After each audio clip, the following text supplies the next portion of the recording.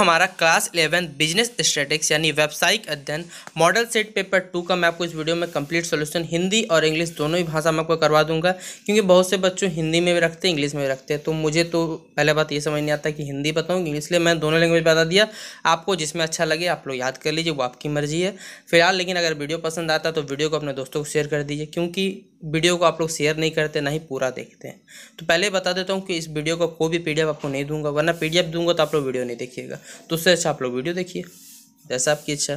फ़िलहाल अगर पसंद आया तो शेयर करिए, वरना मॉडल सेट पे थ्री का वीडियो मैं बनाने नहीं जाऊँगा। पहले आपको क्लियर स्पष्ट यहाँ पर कर दिया जाता है। चलिए वीडियो को शुरू करते हैं। देखिए बेसिक जानकारी पहले ही बता चुका हूँ, वक्त बर्बाद नहीं करने वाला अपना भी।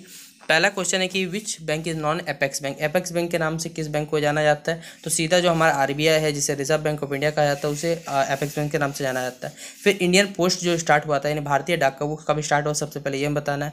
एक ऐसा वेयर हाउस का नाम बताना है, जहाँ से गुड्स कभी भी क्या, वहाँ से क्या कह सकते हैं? बिना चुकाए माल को, बिना टटकर का जो चुकाए माल रहता है, उसको नहीं निकाला जा सकता। अगला है हमारा ई कॉमर्स ई कॉमर्स क्या होता है? इन्वायरमेंटल प्रोडक्शन क्या होता है? और ओनरशिप कैपिटल के जो मेन सोर्सेज होते हैं, वो क्या क्या होते हैं? और एक लास्ट है हमारा सुपर मार्केट सात सवाल है साथ में किन्हीं पाँच का जवाब देना है आपको? आप लोग लिख सकते हैं। चलिए मैं आपको सातों का जवाब बताता हूँ। पहला नंबर का आंसर है RBI in reserve bank of India Hindi लिखे इंग्लिश लिखे, वो आपकी मर्ज़ी। दूसरा नंबर का आंसर एक अक्टूबर अठारह सौ चौवन, हिंदी इंग्लिश आप लिख लीजिएगा। थर्ड नंबर का आंसर मैं आपको नेक्स्ट वीडियो में बता दूँगा। फोर्थ नंबर का आंसर ई कॉमर्स या फिर electronic e commerce is the buying and selling of goods and services और द ट्रांसमिटिंग ऑफ़ फंड्स और data over and electronic network primarily the internet यानी e commerce या फिर ई website internet के माध्यम से। व्यापार का संचालन न केवल खरीदना और बेचना, बल्कि ग्राहकों के लिए, सेवा और व्यापार के भागीदारों के लिए सहयोग भी इसमें शामिल है। अगला चार नंबर का पाँच नंबर आंसर हो जाएगा environmental protection refers to the an activity to maintain और restore the quality of environmental media through preventing the emission of pollutants और reducing the presence of polluting substances environmental media फिर पर्यावरण संरक्षण तात्पर्य है कि हम अपने चारों ओर के वातावरण संरक्षित करें तथा उसे जीवन का अनुकूल बनाएँ। पर्यावरण और पर्यावरण एक दूसरे पर आश्रित है। यही कारण है कि भारतीय चिंतन में पर्यावरण संरक्षण अवधारणा उतनी ही प्राचीन जितना यहाँ मानव जाति का इतिहास है। फिर क्वेश्चन नंबर छः का आंसर यहाँ सिर्फ़ इंग्लिश लिखा हुआ, आप लोग हिंदी इसका सर्च कर लीजिएगा। Equity preference return earnings convertible debenture venture fund और प्राइवेट इक्विटी इस सबका मतलब हिंदी में गूगल से आप लोग सर्च करिए, वो आपकी मर्ज़ी। छः नंबर का आंसर मैंने यहाँ बता दिया आपको। सुपर मार्केट क्या है?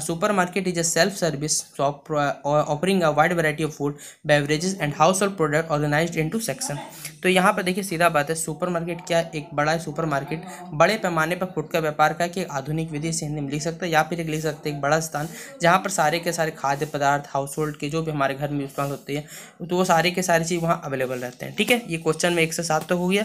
आइए बाकी पहले क्वेश्चन देखते हैं, फिर एक एक करके क्वेश्चन सॉल्व करेंगे।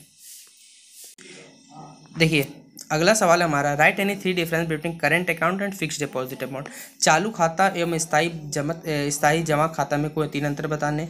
अगला है प्रिंसिपल ऑफ़ इंडिमिटी इंडिमिनिटी क्या होता है? क्षतिपूर्ति सिद्धांत के लिए। Describe the usages of internet यानी इंटरनेट का यूज़ होता है जो हमारे जीवन में, उसका विक्षेप करना, संक्षेप में क्या करना, वर्णन करना है। फिर एक आइडियल भंडार का यानी आइडियल वेयर हाउस जिसे क्या कहते हैं, आदर्श भंडारगिरी कहा जाता है। उसकी विशेषताओं को हमें क्या करना बताना है। फिर अगला है give any three argument in arguments in favour of social responsibility सीधा बात है, सामाजिक उत्तरदायित्व के आयुक्त के अवधारणा के पक्ष में कोई हमें तीन तर्क देने हैं। तीन डिफरेंस बताने हैं इक्विटी शेयर और प्रेफरेंस शेयर के बीच में, और एक सवाल है कि होलसेलर और रिटेलर के बीच में तीन थोक थोक व्यापारी और फुटकर व्यापारी के बीच तीन अंतर बताने तो टोटल आपको सात सवाल दिए साथ में आपको किन्हीं पाँच का जवाब देना आइए मैं आपको सातों बताता हूँ।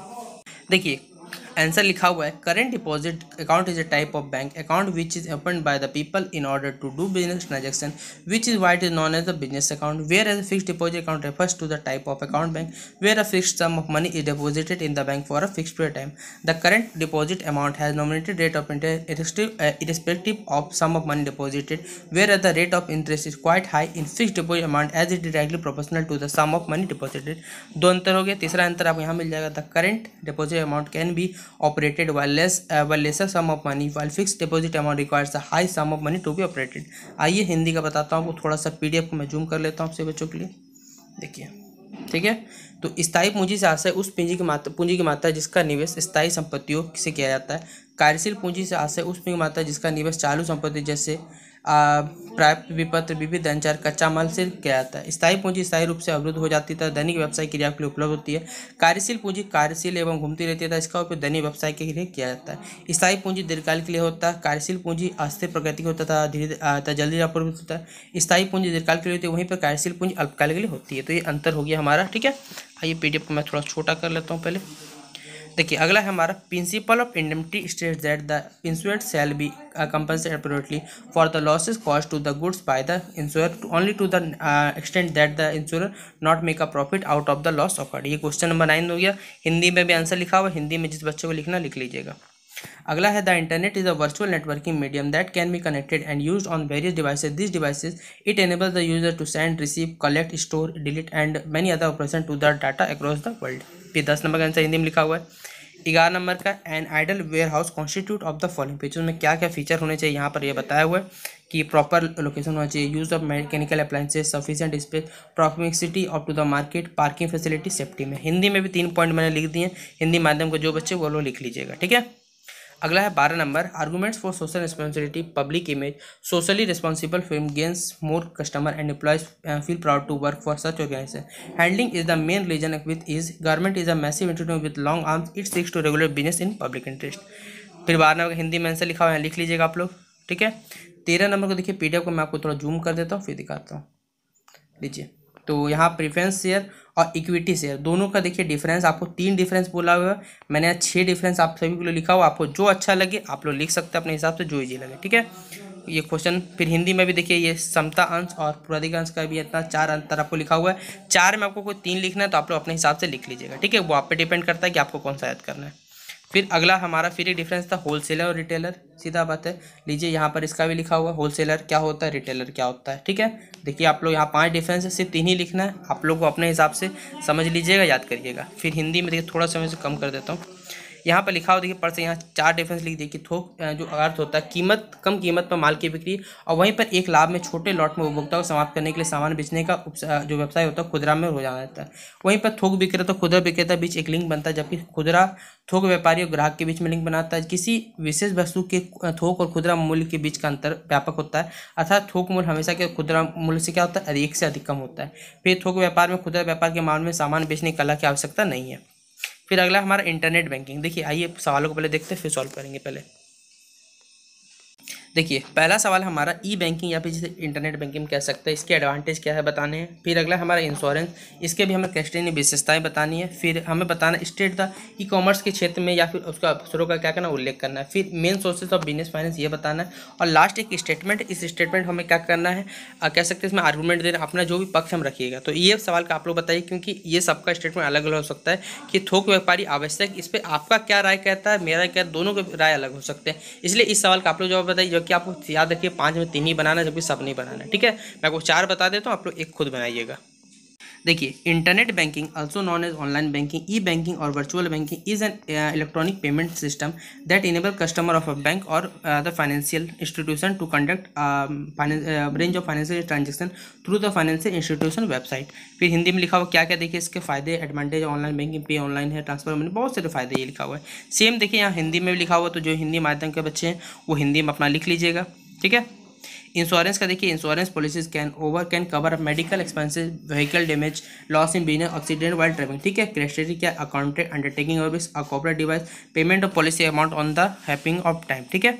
फिर सत्रह, हिंदी में भी लिखा हुआ हिंदी माध्यम जो बच्चे लिख लीजिएगा। फिर सत्रह number answer e commerce is buying and selling marketing services delivery and payment of product service and information over internet internet extranet and other network between and inter internetwork enterprise and is prospect customer supply and other business partner Hindi के माध्यम जो बच्चे, हिंदी में लिख लीजिएगा, ठीक है?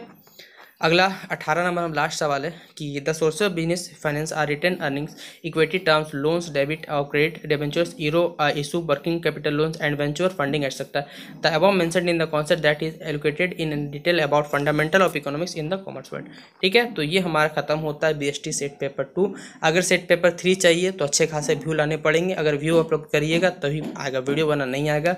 Clear बता देता हूँ, क्योंकि पूरे आपको यूट्यूब में जाकर सर्च के लिए कोई भी आपको बी का, कोई भी आपको टीचर किसी भी टीचर ने कॉमर्स के तहत सॉल्व नहीं दिया जितना मैंने आपसे बच्चों को किया तो अगर देखिए, अगर आप ही लोग सपोर्ट नहीं करिए तो क्यों करने जाऊँगा सीधा बात कहता है लॉजिक है कि अगर एक डायरेक्टली प्रोफेशनल रिलेशन है कि अगर आप लोग व्यू ने वीडियो नहीं दिखिएगा तो क्यों बनाने जाऊँगा? तो सीधा बात है, ये लास्ट अगर कॉमर्स का मॉडल सेट है, इसके बाद ना ई बनेगा, ना कुछ बनेगा, मैं आपको पहले क्लियर कर देता हूँ। व्यू है तो है, वरना कुछ नहीं है। बाकी आप लोगों को जैसा लगता है लगता है मेरी बातें कड़वी तो आप लोग कमेंट बॉक्स ओपन जो विचार है रख दीजिएगा।